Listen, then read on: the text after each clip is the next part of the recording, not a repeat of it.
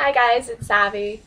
Um, today I'm going to go see Best Little Whorehouse in Texas. I'm very excited. Except for the fact that I'm going to see Best Little Whorehouse in Texas with my grandmother.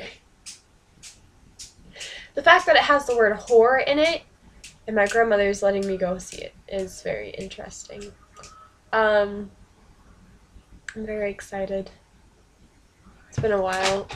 She gets us season passes to Ocala Civic Theater. Um, I got, yeah, that's not it. Last year we went and saw. Are you freaking kidding me, Mitchell?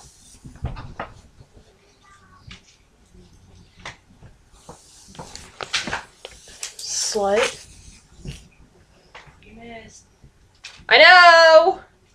We went and saw Chicago. Steel Magnolias, Nunsense.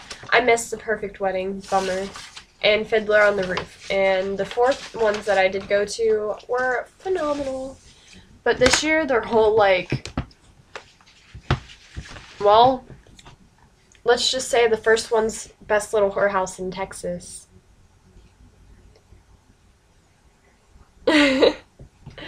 Um, I guess I'll come home and tell you guys how it was. Um, stay savvy.